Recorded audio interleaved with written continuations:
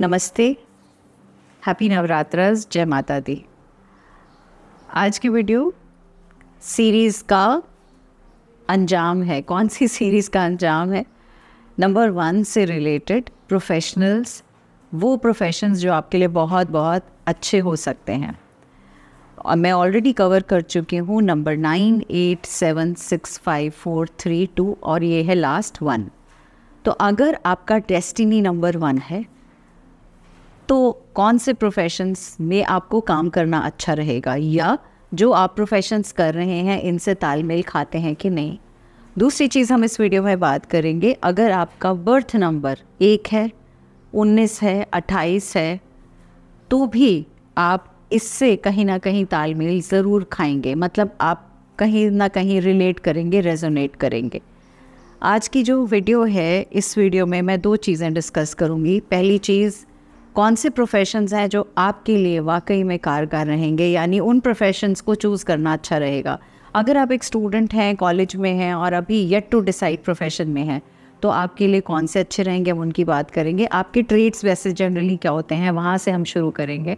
Last में मैं आपसे बात करूँगी पाँच ऐसी एडवाइजेस जो बहुत पावर पैक्ड एडवाइजेस हैं और अगर आप उनको अमल में लाते हैं, उनको सोचते हैं, समझते हैं तो बहुत हद तक आप अपनी प्रोफेशनल ज़िंदगी में वो कहते हैं ना परेशान नहीं होंगे मतलब एक हैप्पीनेस क्वेश्चन रहेगा कि हाँ I am doing what I wanted to do forcefully काम नहीं होगा I'm a mother, teacher, guide, and a friend, and these are my life lessons. I'm Dr. Neeti Kaushik, and welcome to my channel Nitty Gritty with Dr. Neeti Kaushik. अगर आपका destiny number one है तो कैसे calculate होगा आप यहीं पे pause करती हूँ और आपको समझ में आ जाएगा date of birth month of birth और ईयर ऑफ़ बर्थ का सम टोटल सिंगल डिजिट में जब हम लेकर आते हैं, वो वन बनता है, यहाँ आपका वन है। दूसरी चीज़, अगर आपका बर्थ नंबर वन है, या उन्नीस है, या अट्ठाईस है तो भी आप इसी कैटेगरी में आते हैं। एज नंबर वन आपकी कुछ बहुत कमाल की खूबियाँ हैं। कौन सी खूबियाँ हैं? तो अब खूबियों की बात कर ली जाए, आपकी ना लीडरशिप स्किल्स कमाल के हैं। वन कहते हैं ना, एक अकेला ही काफ़ी है। वो उस तरह की लीडरशिप स्किल्स होती हैं आपकी। बहुत एम्बिशन कूट कूट कर भरा होता है कि कुछ बड़ा करना है, कुछ मतलब जस दुनिया बदलनी है, उस तरह का एम्बिशन एक ट्रू पाइनियर के बतौर आप काम करते हैं, आपके मन में ये होता है कि बस मैं एक, कहते हैं ना, दूरदर्शिता से भरे होते हैं. आप चीज़ों को छोटा नहीं सोचते, आप हमेशा बड़ा सोचते हैं. और दूसरी चीज़, आप बहुत ऐसे इंसान हैं जो आप कहते हो, मैं नए रास्ते खोजूँगा, नए तरीके अपनाऊँगा और मैं वही सेम काम जैसे दादा परदादा करते आए हैं, मैं वो नहीं करूँगा। मैं नई चीज़ें, नए रास्ते लेकर आऊँगा जिसकी बदौलत मैं बहुत सारे लोगों को एम्प्लॉयमेंट दे पाऊँ और मैं बहुत सारे लोगों का भला कर पाऊँ बिकॉज़ आपके अंदर जग का भला करने की एक अलग सी कीड़ा है। एक छोटी सी चीज़ ज़रूर मैं कहना चाहूँगी, जितने भी लोग वन से गवर्न होते हैं ना, अट्ठाईस साल तक उनको क्लैरिटी नहीं होती कि मुझे करना क्या है। वो चारों तरफ़ हाथ पैर मार रहे होते हैं, जो उनको सामने मिलता है, वो करना चाहते हैं, वो करने भी लग जाते हैं एज पर उनका ऑक्यूपेशन प्रोफेशन लेकिन कहीं ना कहीं एक डिससेटिस्फैक्शन रहती है बिकॉज़ आपका रास्ता एग्जैक्टली क्लियर क्लैरिटी के साथ 28 साल के बाद ही आता है। 28 के बाद आपको समझ में आता है कि हाँ ये है और ये मुझे करना है। तो चलिए जी, अब बात की जाए, ऐसे कौन से प्रोफेशंस हैं, कौन से नायाब प्रोफेशंस हैं जो आपके लिए वाकई में कमाई का काम कर सकते हैं और आप अपना लाइफ पर्पस जिसके लिए आए हो, वो बहुत फ्रूटफुली उसको पूर्णता से पूर्ण कर पाइए। तो सबसे पहला प्रोफेशन आता है नए वेंचर्स को क्रिएट करना, नए बिजनेसेस को क्रिएट करना या एज एन ऑन्टरप्रेन्योर नई चीज़ों को स्टार्ट करना। यानी आप किसी बिज़नेस के, किसी काम के, कई, किसी नई चीज़ के आगाज़ करते हैं, उसको बिगिन करते हैं। सेकेंड प्रोफेशन जो बहुत अच्छे में आप काम कर सकते हैं, वो है पॉलिटिशियन का प्रोफेशन वेल well, आपके अंदर एक खूबी है कि आप बहुत से लोगों को सम्मोहित कर सकते हैं और एक साथ जुड़ते हुए आप उनको एक दिशा की तरफ़ ले जा सकते हैं। तो आपकी लीडरशिप जो है एज सच अगर आप पॉलिटिक्स में जाते हैं तो आपको डेफिनेटली बहुत फलीभूत होगी। थर्ड पॉइंट पे आती हूँ आप एक कंसल्टेंट मार्गदर्शक का काम कर सकते हैं। बहुत से लोग किसी जगह पर्टिकुलर जगह नौ से पाँच की जॉब नहीं करना चाहते। और एज़ नंबर वन आपके लिए भी बड़ा मुश्किल है नौ से पाँच की जॉब करना। अगर करते भी हैं तो बहुत बार मन मुटाव टकरार रहते हैं बिकॉज़ आपको किसी के नीचे काम करना अच्छा नहीं लगता।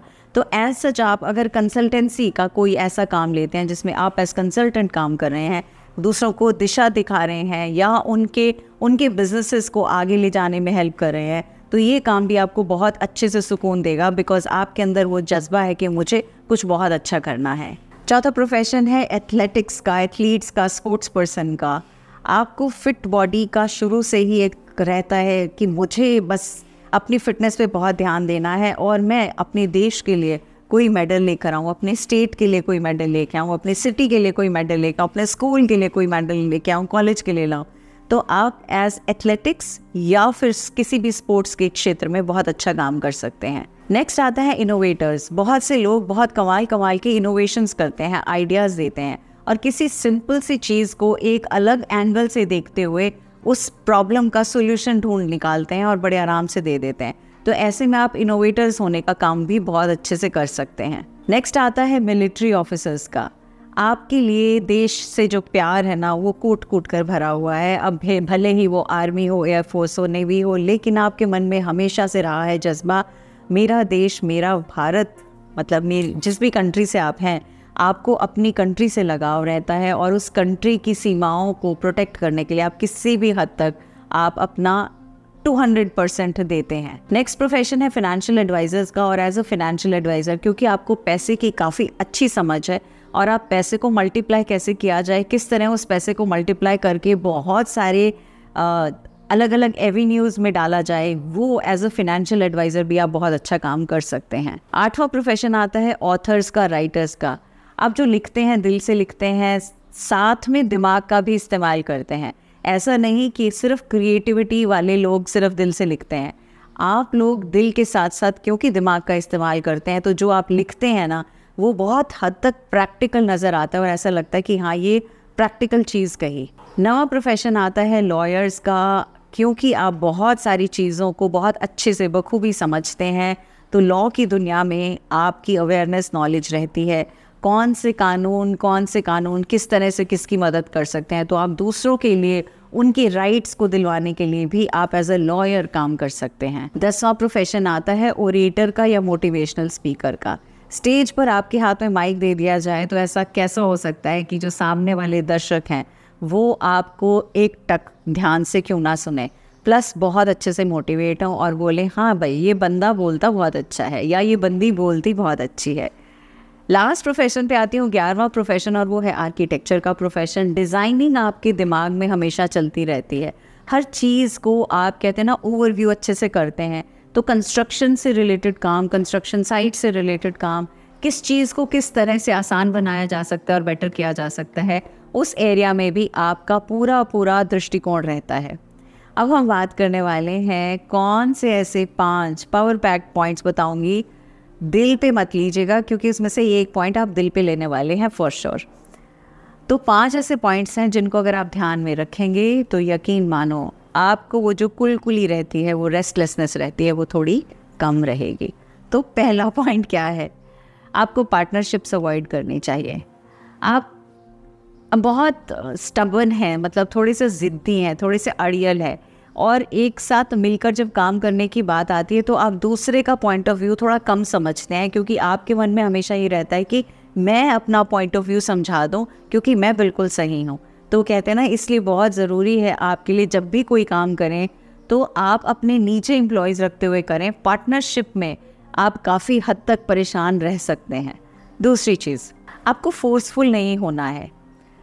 एक नंबर सूर्य का नंबर है। सूरज को देखा है, सुबह का सूरज कितना सुंदर लगता है। शाम का ढलता सूरज भी कितना सुंदर लगता है। और दोपहर का बारह एक बजे की चिलमिलाती धूप जिसमें सूरज पूरी गर्मी दे रहा है अच्छे से। तो वो झुलसा नहीं देता। तो ऐसे में कई बार आप इतने फोर्सफुल हो जाते हो, इतना मतलब पीछे पड़ जाते हो या ज़िद्दी हो जाते हो, जिसकी बदौलत बाकी सब लोग ऐसे करते हैं कि सामने से आपको आता देखकर इधर उधर हो जाते हैं कि फिर से कुछ पूछ लेंगे तो फिर परेशानी आ जाएगी। तो ऐसे में आपको फोर्सफुल नहीं होना। दिल में इतना प्यार है, सबके लिए इतना सब कुछ करते हो, दुनिया के लिए जीते हो, सबके लिए काम करते हो, देश का ध्यान है, लोगों का ध्यान है। ज़बरदस्ती से कहते हैं ना, हमेशा स्ट्रिक्ट टीचर बन के रहने की ज़रूरत नहीं है। समझ में आई? अब आ जाते हैं थर्ड पॉइंट पे। आप अपनी सेल्फ केयर को सबसे ज़्यादा इग्नोर करते हो। दुनिया भर की, मैंने कहा ना, परवाह है। सबकी आसपास की, लोगों की, सबकी परवाह है। खुद की केयर का जब टाइम आता है, कहाँ चली जाती है? समय से उठो, समय से खाना खाओ, भोजन को साइडलाइन मत करो। ये मत सोचो कि अब काम ज़रूरी है, भोजन बाद में हो जाएगा। शरीर है तो काम है। इसलिए बहुत ज़रूरी है आपके लिए अपनी हेल्थ का थोड़ा सा ध्यान रखा जाए। अब मैं आ जाती हूँ चौथे पॉइंट पे, और वो है माइक्रो मैनेजिंग का। मतलब हर छोटी चीज़ के घुस घुस के एंड तक जाना, समझना और फिर उसको काम करना मतलब आपकी आदत है, बहुत अच्छी बात है। आप हर चीज़ की तह तक जाते हो, बहुत अच्छी बात है। आपकी विजन, टनल विजन है, बहुत अच्छी बात है। लेकिन आप जिनके साथ इन्वॉल्व हैं, जिनके साथ काम करते हैं, जिनके साथ दिन भर बिताते हैं, आपको कैसे समझ में आए कि वो लोग टनल विजन वाले नहीं हैं? वो लोग बाल की खाल तक नहीं जाते, वो लोग हर चीज़ को गहराई से नहीं देखते। बहुत से लोग सिर्फ़ सतह पर जीते हैं। तो ऐसे में आप फोर्सफुली उनको माइक्रो मैनेज मत किया करो। ठीक है? मुझे पता था ये चीज़ थोड़ी सी ख़राब लगेगी आपको। बट uh, आप ही के फ़ायदे की बात है। अब मैं आ जाती हूँ लास्ट पॉइंट पे और वो है एक जो आपको फीडबैक मिलते हैं जो सजेशंस मिलते हैं उनको इग्नोर मत किया करो। कई बार कहते हैं कोई इंसान आपके सामने ही हो तो कह नहीं पाते लेकिन अगर धीरे से कोई एक सजेशन देता है या कुछ बोलता है आ, उस टाइम तो आप शायद नहीं लेंगे लेकिन मैं ज़रूर कहूँगी कि उसके बाद पूरा दिन 24 घंटे आप थोड़ा सा उसके बारे में दिमाग लगाइए और सोचिए, उस इंसान ने ऐसा क्यों कहा?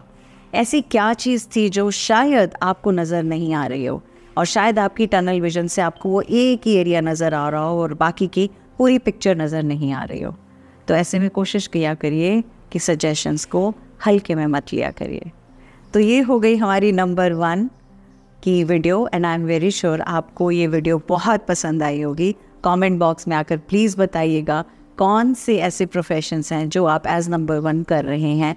और कौन से ऐसे, या maybe more than one या मोर देन टू कर रहे हैं? आपका बहुत तहे दिल से आभार, शुक्रिया। Thank you so much God bless you